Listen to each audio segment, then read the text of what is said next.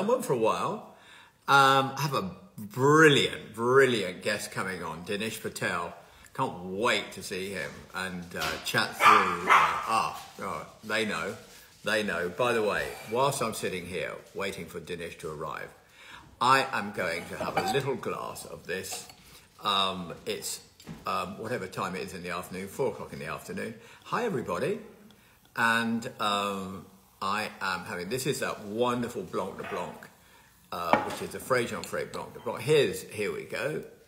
Yes, go live with Dinesh. Uh, Dinesh, there we go. Where are you? In a minute, waiting for Dinesh to come on. And there you are.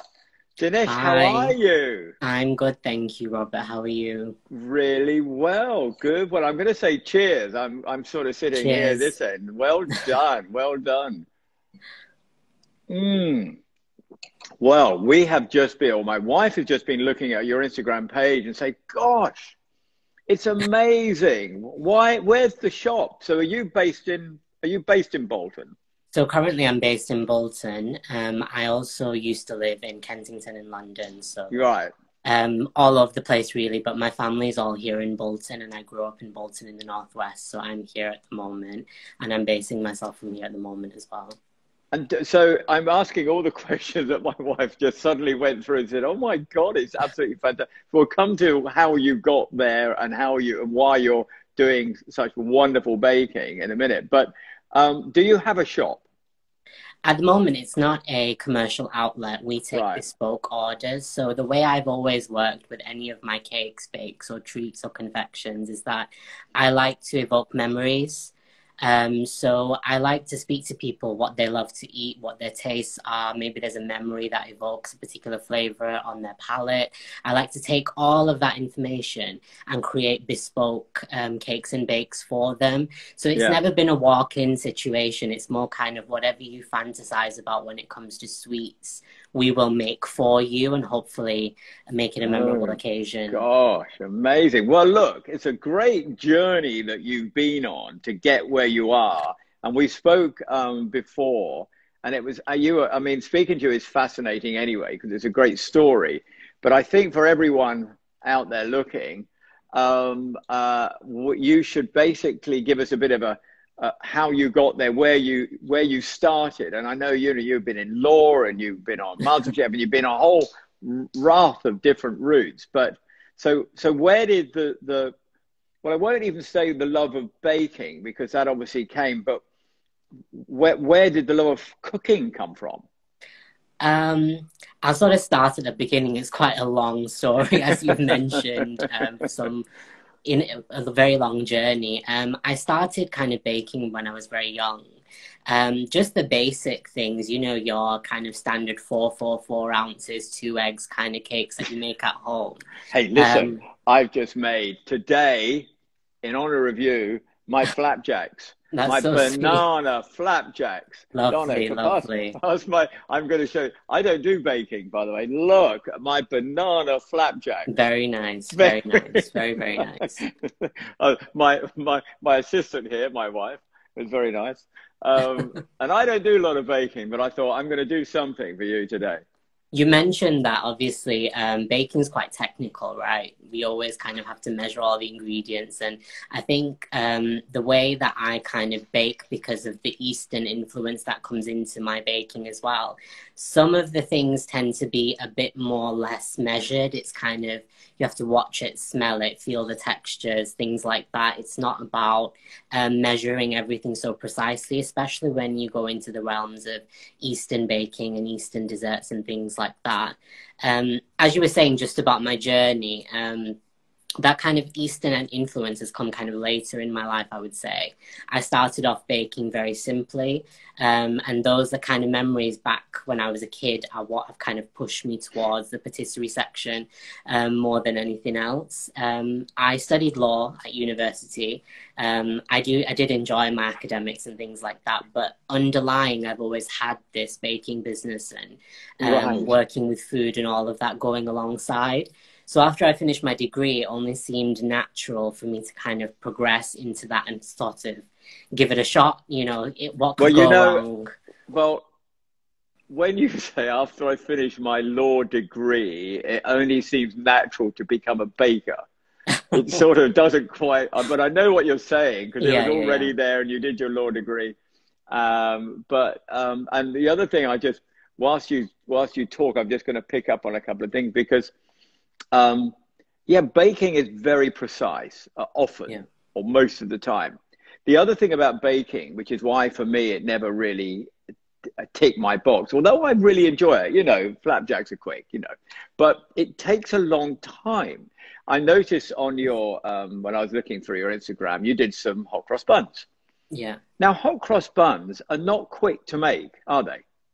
No, traditionally they're not. No, five hours later, I'm still prepared. I'm still finishing. And I thought, and I said, you know, I started in the afternoon. I do some. I did Mary Berry's hot cross buns, and I thought I'll start this because uh, I do like a bit of baking, and I'm actually quite good at it. It's just I find it because it's all when I cook as a chef. Yeah. I just do something, and it can be uh, like I just did a chicken chasseur. You know, it doesn't matter how much to, I put enough tomato in, I put enough tarragon in, I put a bit this, a bit of that. And actually, one of the issues, um, Dinesh, is that everyone says to me, How much do you use? I said, I don't know. Yeah. I just do it. But of course, baking is precise. So, sorry, interrupted. So, going from your natural progression from a lawyer into a baker.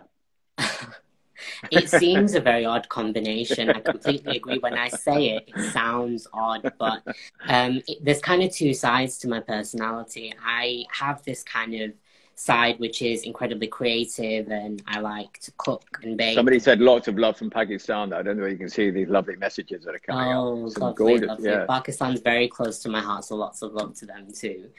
Um, so as I was just saying, there's kind of two sides to my personality. On one side, you've got this creative, you know, that wants to create these bakes and, um, and use ingredients and be different and innovative and all of that.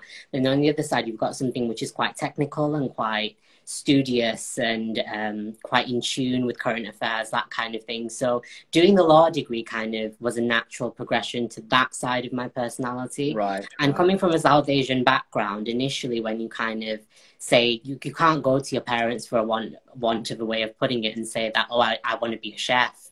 It, it doesn't necessarily sit very well um, in the first instance. Um, something I wish I could change in the mentality of the South Asian world as well. Um, but fulfilling that element of kind of doing the studious elements of life was really important to me and something that I enjoyed as well. Once I'd done all of that, I kind of had free rein um, to explore the other elements of my passions to do with food and baking. And it's a passion that developed, I think, like I said, from a very young age. And it's something that has always been with me. Um, I think for me, de stressing before a law exam was making a traditional um, kheer or rice, Indian rice pudding over the stove, just simmering away, looking at my revision notes. So having that and that together, both elements of my personality together underlying, mm. um, I just wanted to go whole hog after I finished that degree, and I just wanted to completely immerse myself in that world. So it's to me, it seemed completely natural. So uh, one of the one of the um, really interesting um, parts of our discussion last time was, of course, the, the Indian influence into desserts, which for me is yeah. very limited. Um, I can only think of the desserts that I've had. Uh, if we call them Indian, South Asian, well, you know, we'll, we'll use that as a as just a term at the moment. But whenever I've been to Bangladeshi weddings or Indian weddings or uh, other weddings from different cultures and different, you know, whether it's a Hindu wedding or a Muslim wedding or whatever, the dessert is super sweet, really sweet, yeah. and quite creamy and a bit yeah. ricey.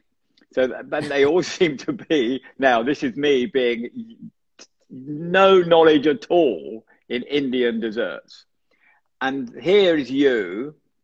Um, and another thing I'm going to pick up in a minute, actually, which is really interesting point, was about how when you go to your parents, you want to say, "I want to be a chef." How? But we'll come back to that. Don't let me don't let me leave that because that's a really interesting yes. point because that comes across in my young chef, young waiter program right now. But um, I want to dig dig deeper into the world of Indian desserts because that is about as much as I've got.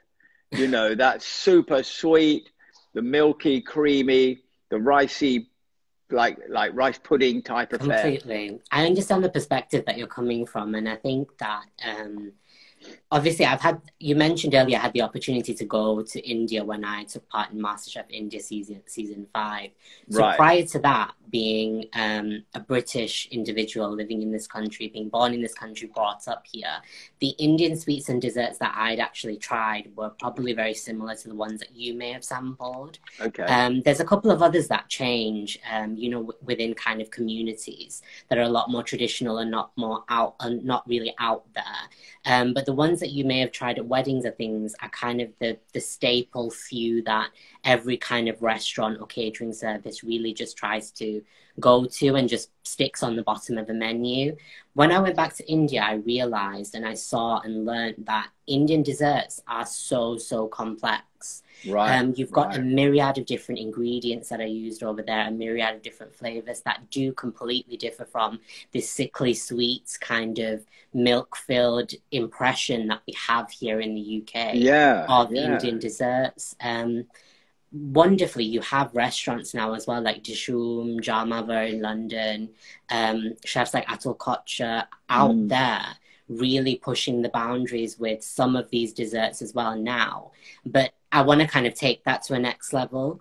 So for me, I, when I went back to India, I learned the basic ways of making these traditional recipes, heritage recipes that are being lost because people aren't carrying them on or they're not popularized. And to understand the complexities of that, the flavor profiles, and then bring that into kind of Western technique and into the 21st century is what I think is really important. Hopefully, changing this perspective that it's been given of sickly sweet, rice filled, milk filled desserts that you kind yeah. of, after a heavy Indian meal, don't have an inclination no, it's the last thing. Sort of, I mean, you can think of I'm trying to think. I mean, you know, mango is always something, yeah. but I'm really, I'm really, you know, picking on on very simple bits here. And, and as I said, my knowledge, you know, my knowledge in in the in the within the starter. Uh, here we go. My Indian heritage desserts are just so different. I love that you're doing this. Oh, that's nice. Thank you so much. Well, I'm loving it as well because I'm learning. You know, eh, with with, with Dinesh, that we're learning about about it. And when you think of the produce of India or Bangladesh or, or Sri Lanka or all of those South Asian countries, I mean, you have everything. You have color, you have spice, you have sweet, you have everything. And so, but it is at the moment when you go and have a traditional, whether it's a curry in Bolton or a curry in Knightsbridge at Atul's or, your, or wherever, the last thing you're going to think about is what I'm going to have for dessert. Absolutely. Whereas when I go to a, a, let's say a classic restaurant, you know, I personally, uh, I really enjoy the puddings or the desserts. I really do. I've always had a that sort of inkling, and certainly as I get older, for some reason, I'm jumping on it more. As I can't wait to have one of my flapjacks a bit later. But so there must be so many opportunities for you. Now, it's not an easy one, but once you get it going, there has to be so many opportunities within a, a South Asian restaurant format or boxes or whatever, whatever it is. And, and you know, the, the South Asian community, I would imagine, would sort of love this because you would just take them back. Absolutely. I think um, when you're saying about memories there, as I said in the very beginning, um, evoking those memories of childhood comfort things like that with food is really important to me. So when i'm revisiting these heritage recipes i'm talking about recipes that you'd find in remote villages from particular sectors of india and particular corners of india that are really completely unheard of and not even likely to be found in a south asian delicatessen anywhere in the uk and because they're so complicated, because they're so specialized, and because it's those people, specifically probably in that small, tiny shops in some corner in India that make that dessert, you're not going to get it ever again no. in this country unless you find somebody like like myself that's willing to kind of bring that into a popularized light um, it's true what you say. I think at the end of the meal, um, there's always room for dessert, isn't there? And I think um, just that statement alone is what kind of it makes me happy just thinking about it because sweets are that at the end of the meal, and you smile and you eat it and you remember it as well. It's that last course. Well, it always has to be, doesn't it? I was always taught that if you're giving somebody a coffee, make sure it's the best coffee because Absolutely. that is the last thing you're going to take away from that restaurant yes that you're going to eat. You know you want a great service everything else but the last thing you're going to eat or drink is probably a coffee or a tea or whatever it may be.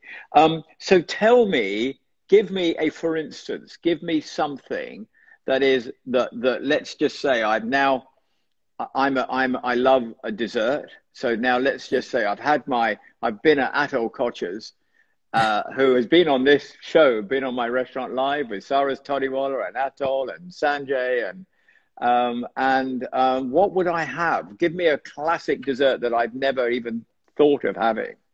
So I'll go for my classic favorite, which is actually a dessert called Shrikhand. Um, it comes from the states of Maharashtra and Gujarat in India, these particular two states. And it's essentially just hung curd but it's beat you beat that with lots of sugar and lots of nuts and lots of different spices. So you've got specifically um, pandanus leaf extracts or ghee water. You've got saffron and you've got cardamom. These three kind of major holy trinity when it comes to Indian desserts. You beat that over a gradual period of time, introducing air continuously, and that really thick, tight hung curd, the level of acidity with the sugar and the spice balances perfectly to give you something that's light, airy, palate cleansing, but equally satisfying for that kind of sweet tooth. So for me, at the end of an Indian meal that's usually very rich, full of heady chili, spices, coriander, all of that, you've got this clean yogurt that leaves a very nice citrusy note at the very end. So for me, that's that's my perfect classic kind of Indian dessert there. That's what I'd recommend. That's what I'd probably make for yourself anyway. And you know, and I'm sure everyone else, you know, listening to you, listening to the way you describe the desserts, listening to your passion for the desserts, it would make um, I'm thinking somebody there. I'm thinking of driving up to Bolton. They're most welcome.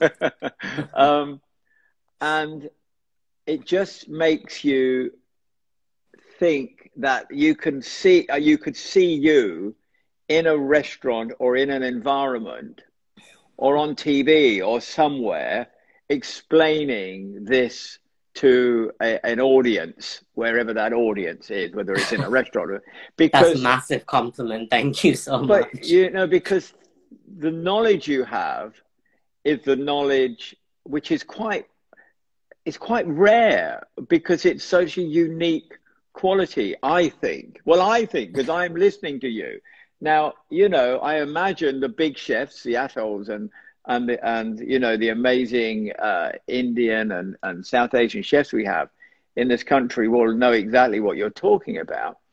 Um, and somebody here, like Dinesh, what an amazing inspiration! How lovely that is. Oh, thank you, thank you so and, much. Um, but it really feels that that there's that you know you've you've got something that is so unique and so different, and your knowledge is so incredible that to challenge you. I always think, you know, if you're going to create something different, you need to be the one who can lead the, from the front.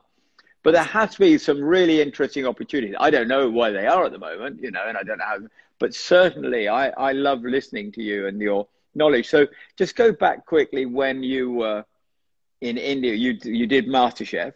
Yeah. Now that would have been, you wouldn't have just done desserts, of course, you would have done other dishes. No, so um, my first dish that I made in the MasterChef India kitchen was a dessert.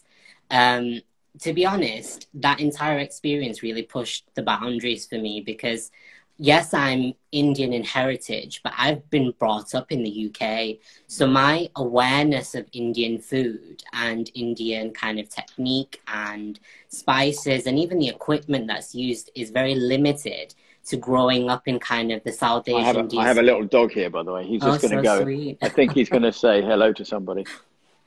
okay, he's just going to go. he was sitting next to me. It's oh, time sweet. to get up.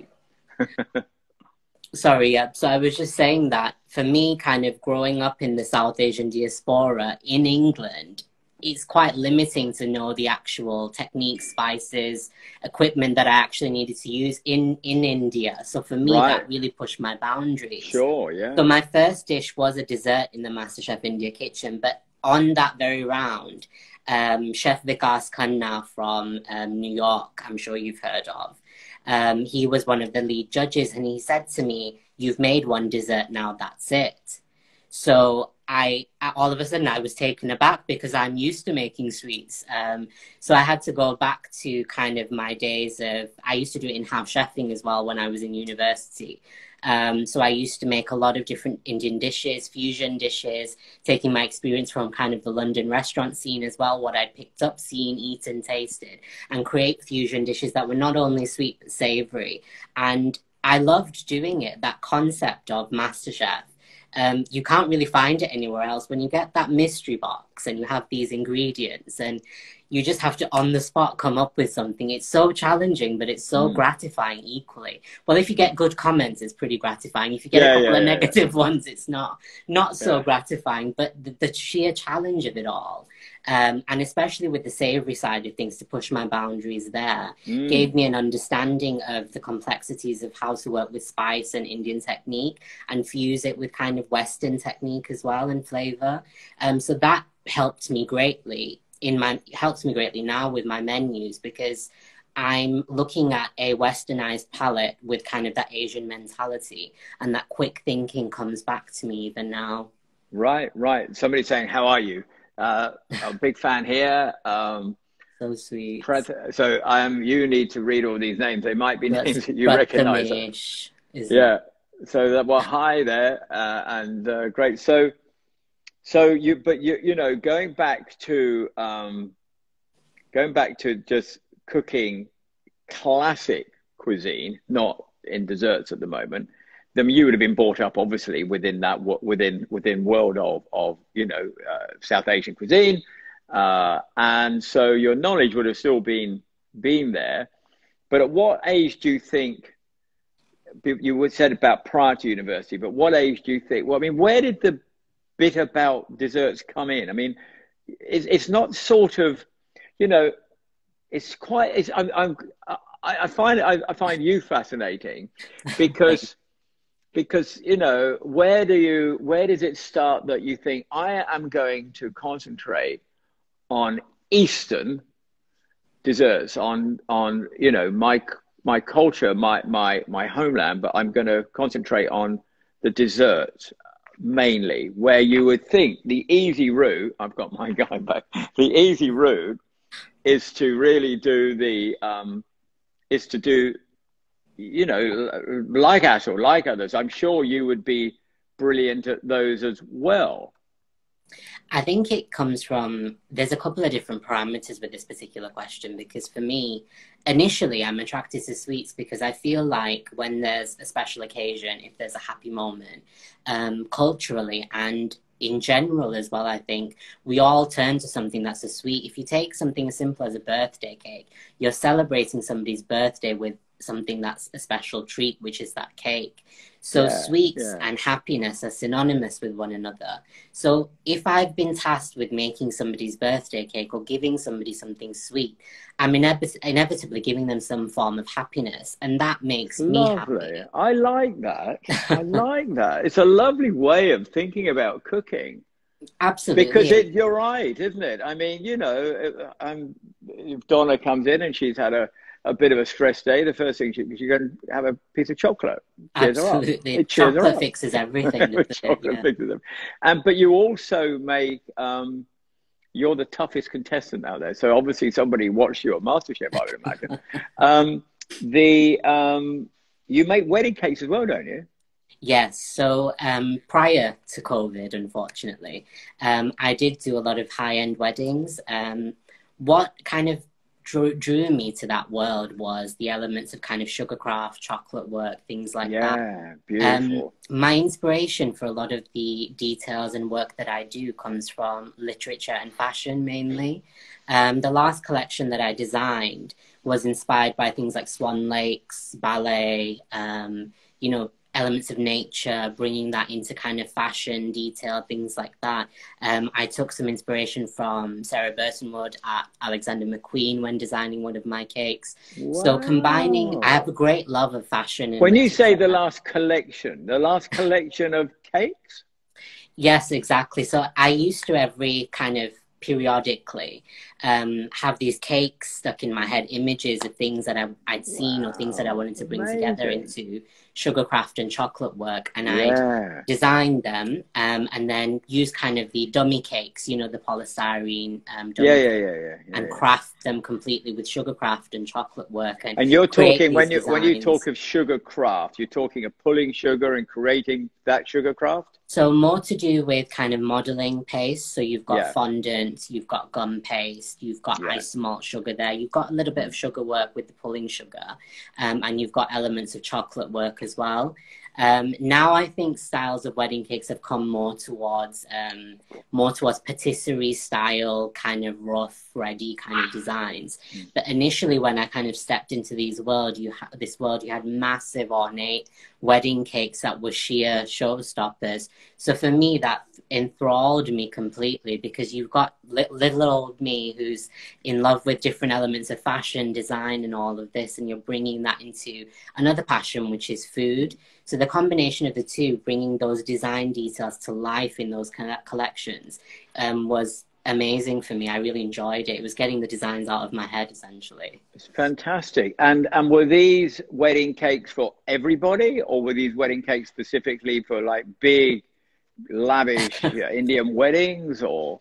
I think with the price point, um, they're, they're for quite lavish weddings, you know. Um, right. We used ingredients, um, you know, a lot of gold leaf gilding in there. The kind of flavors that we did were the best saffron in the world. We'd get the wow. best pistachios. We'd get lemons from Sicily. You know, we'd be getting the maple syrup from Canada. Things like that are what wow. we created. Not just from the outside, from the inside as well.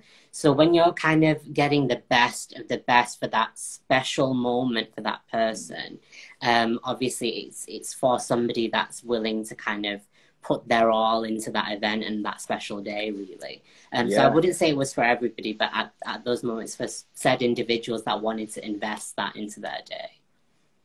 And so go sort of up to sort of now. So your your current job, if you like, is to is to work from your from your kitchen. Yeah. Uh, and from your base in Bolton. And do you send dishes out? Do you send cakes out? Do you send other pastry so, products out to different locations? Are you sort of online? Absolutely. So what we've in kind of reaction to COVID, um, you know, I saw all of these events kind of go away. There was no more wedding or there was no nothing mm. going on really. So I started to wonder how best to re-engage with my audience and kind of back to that original ethos that I'm talking about of share, sharing a little bit of happiness um, in even such dire straits and times. So what I've gone to now is a concept which I've called by Dinesh, essentially. And there are a myriad of different bakes, both bespoke and an ever-changing menu of cakes, desserts, bars, biscuits that can be popped into a hamper and sent to anywhere in the UK nationally. And you can share those moments with friends, with others, with even somebody down the road, anybody that you possibly want to. And they can evoke memories, they can comfort you, you can be happy eating it. So for me, that's what I currently do. Um, and to be honest, in comparison to kind of the wedding cakes and things that I did in that wedding industry, yes, I do love it. And I probably will go back to it at some point. But there's something so lovely about having this mass audience right now of mm. people in such a constraint that we've gone through and being able to share that happiness with even more people at a price point that's so much more accessible. So those little bespoke elements are just going that little bit further for me. Um, yeah. And it's really gratifying and I'm really enjoying it, to be honest. I think um, a bit like you, you know, through I, I run events, you know, so um, yeah, there were no events, so uh, I started cooking again, and and I absolutely loved it, and I didn't realize how much I missed cooking. You know, I do lots of things. I with Michelin and and all uh, and and the Young Chef Young Waiter program, which I'll come back to in a minute, and and big gala dinners, and which I host and run.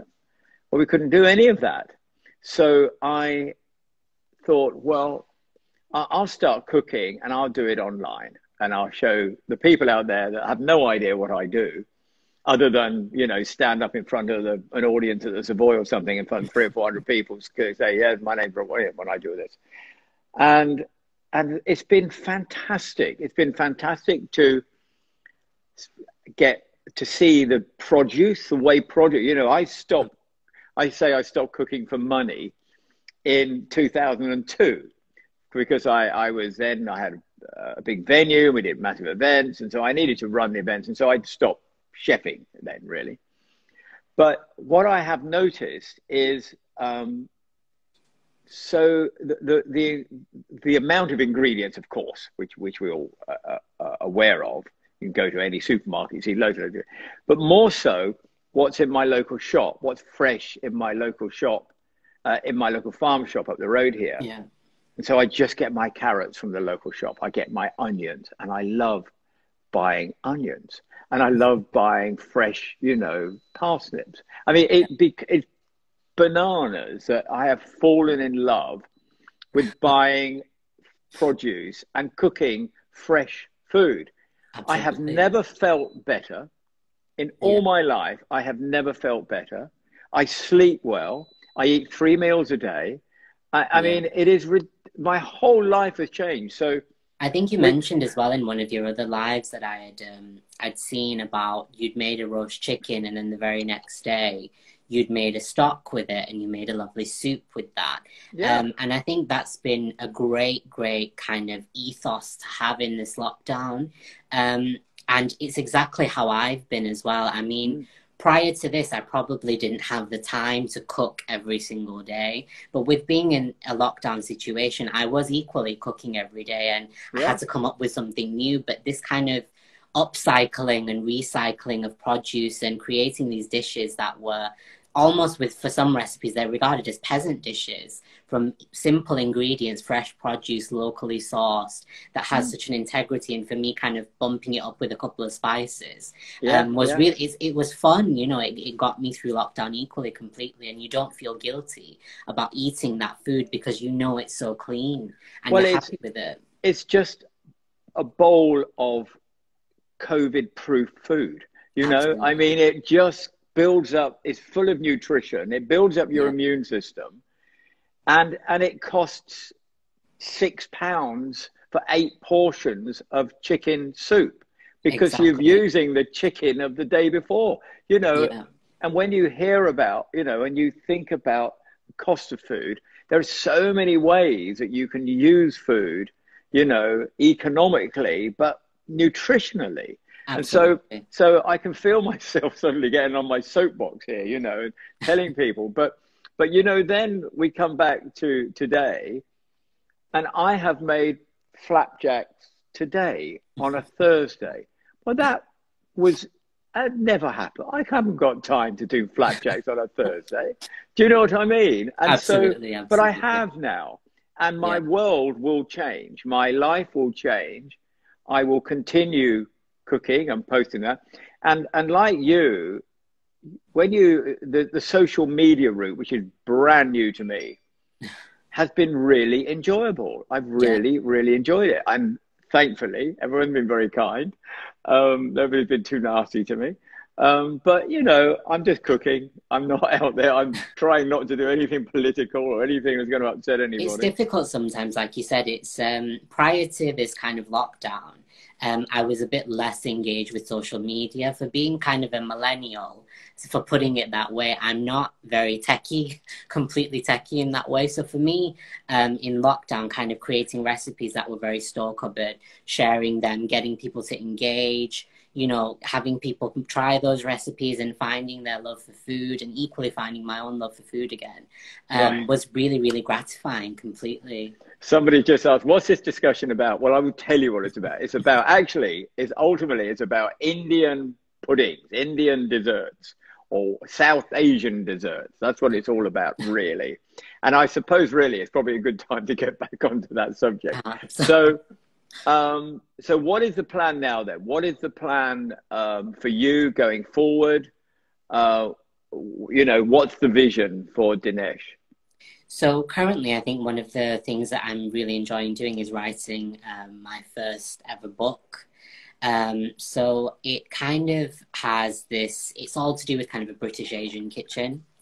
Um, and it's about the recipes that as a diaspora we've created um, from a combination of British culture and Indian culture that we brought with us, and recipes that you'll find in a lot of South Asian households within the UK that aren't necessarily kind of traditional. They're just something that we've come up with, and that's going down both the savory route and the sweet route. You've got um, fusion desserts from myself in there as well from my travels, what I've discovered, the ingredients of this nation, which is amazing as well, using a couple of those and adding a couple of those Eastern flavors in as well.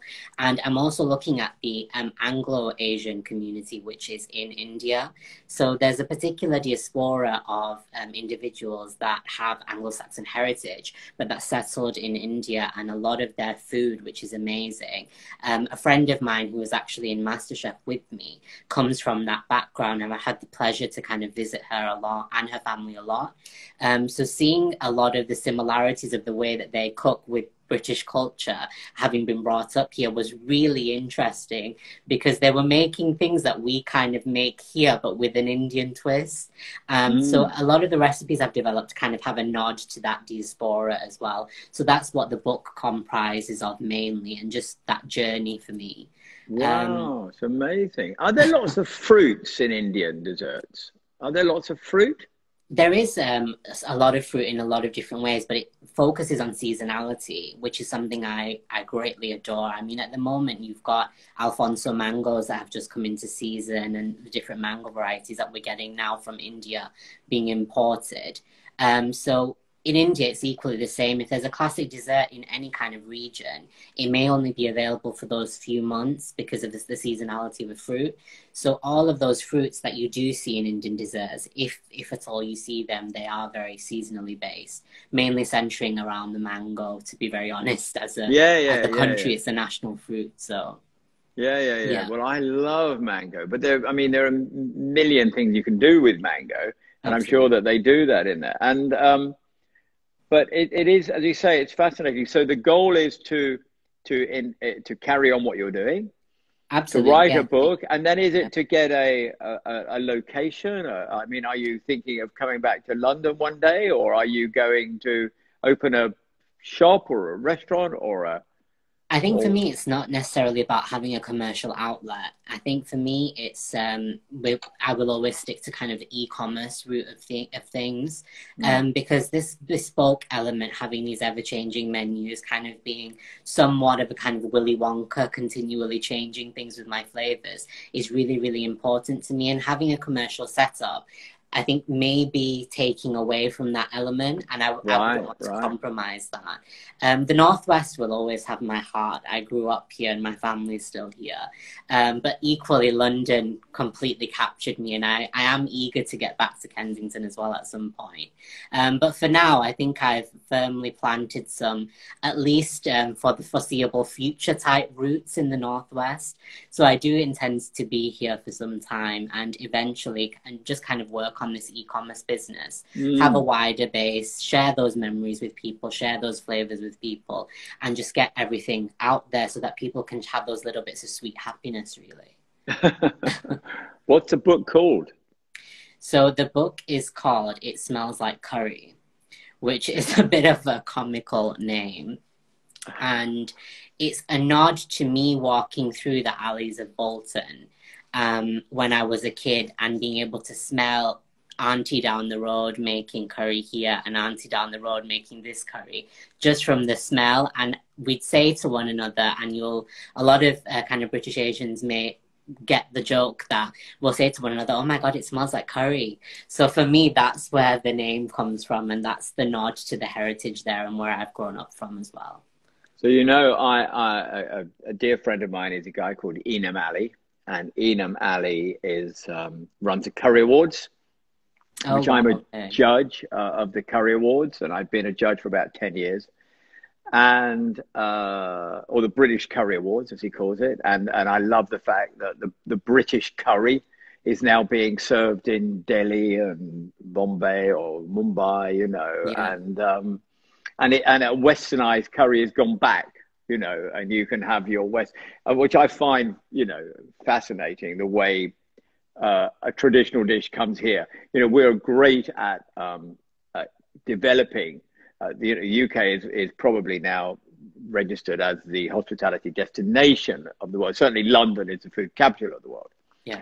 Um, but one of the things I'll just finish on, but pick up on, which is really interesting, what you said. So I run Young Chef, Young Waiter, and we're doing a global one. And I spoke to um, uh, India yesterday uh, from uh, from actually Mumbai, which is Bombay, isn't it? It's yes. the same, isn't it? Yeah. Yes.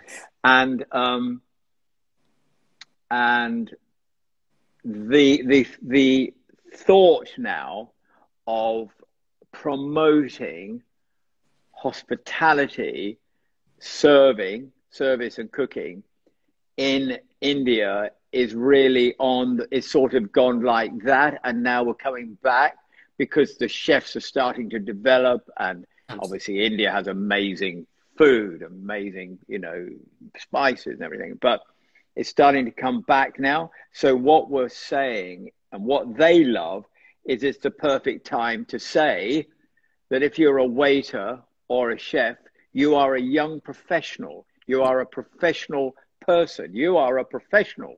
You are a professional Absolutely. baker. Of course you are. Yeah. It takes, you know, I'm a professional chef. It takes years to do what, what you and I do. But the person serving in that restaurant is a young professional or a professional Absolutely. doing his job because you will ask him and you can't just walk into any restaurant these days and just suddenly, okay, well, I'll, I'll do, I'll take you to the table because people won't accept it anymore because it's gone way past that.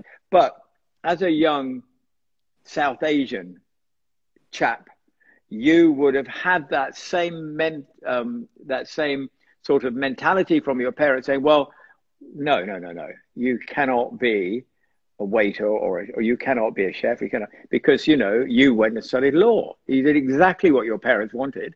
You came out with flying colors and then you said, actually, I'm going to go do some baking. So, but, but I suppose you did tick all the boxes. But of course, we have that issue here now. Yeah one, we have a big issue because, of course, we have the Brexit scenario because lots and lots and lots of, of, of term Indian restaurants, curry houses, uh, cannot get staff because they yeah. don't tick the right boxes because you have to be certain standard. But of course, what you can't get is waiting staff. Well, you're not going to get, you know, British waiting staff. You will get, of course, you will, but you're not going to get many going into a traditional curry house. So it's a real problem that we have. So the more we can do this end to promote uh, young chefs and waiters as young professionals in all in all cultures, in all countries, in all communities. It's really, really very, important. That's very true. When I look at the concept of young chef, young waiter, I mean, when I was sort of 18, 20, if I had seen an opportunity like that, I would have sort of snapped it up mm. because for um, if MasterChef had never come along in my life, um, it would have been hard going, kind of getting that credibility as a South Asian. Um, wanting to be a chef or wanting to be a pastry chef or be a baker. Mm. Um, without that at all, um, it kind of needed to be there. Mm. And for me, ha- getting that across to family was incredibly difficult. Um, and if you do want to go into this field and you do want to kind of make a career for yourself and can make it commercially viable, it takes a lot of effort. And these are the things that kind of South Asian mentality sometimes in the diaspora, mm. they're unable to see and that requires a great deal of effort and conviction and it's it's to be admired so if there's any yeah, yeah. yeah, if there's any south asian sort of in this sort of position where they want to go into this field and they're worried about those aspects of the reactions of their parents and whether it's the correct way to do things whether it's not or whether it's too different.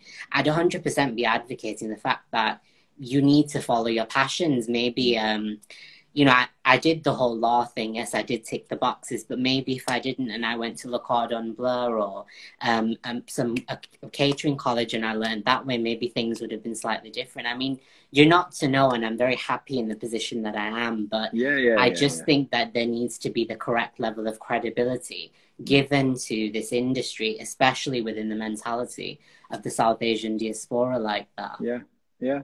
No, I agree with you. Look, I hope anyone looking has seen, uh, and then somebody's a big fan from India, somebody's following from India, which is fantastic. Um, look, it's been an absolute pleasure, Dinesh, to speak to you. Thank you for coming Thank on my so restaurant much. live. And I wish you all the luck and all the good fortune of the future. You, you're, you're, you're an incredible guy, you're an incredible chef, you're an incredible Thank baker. You uh, I can't wait to taste something one day. I'm sure it will happen one day. Certainly, Absolutely. looking at your um, your Instagram page, there are some um, fantastic dishes. I was looking at your um, coconut and, and whatever it was, cream buns. Oh my God, they look so gorgeous. Let me quickly, I just quickly, I was on it. Oh, I've lost it now. Oh, it doesn't matter. I won't do it now. It's rude. But um, anyway, I was looking at your, all of your puddings and desserts. Look, pleasure to see you. Thank uh, you again. so so much. And um, and you know, wish you continued success. And it's when been a great honor. Out, thank you so much. And you you really made my day today. Thank you so much. oh, it. it's very kind. Thank you. Well, when the book comes out, give us a shout. Let's promote it and definitely, good luck definitely. to it. And let's taste some of those fantastic desserts. Can't absolutely, wait. Absolutely, absolutely. All sure. right. Have a great day. Thank you so much. Take bye, care. Bye, everybody. Bye. Bye. Bye. Bye. Bye.